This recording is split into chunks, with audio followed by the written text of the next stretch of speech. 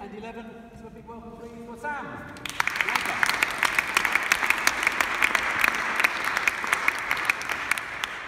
The first piece I'm going to play is called